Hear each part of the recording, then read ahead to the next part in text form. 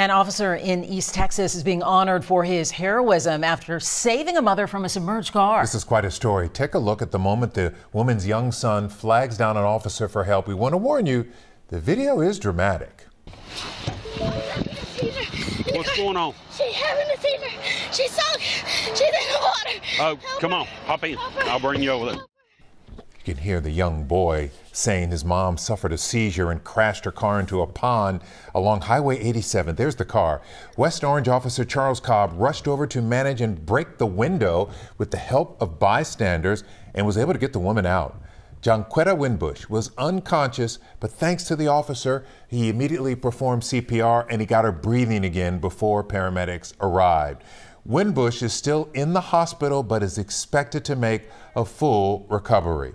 This happened last month, but the police department is sharing Cobb's body cam and dash cam video now after honoring him with a letter of commendation and life saving award. Whoa, So very well deserved. my goodness.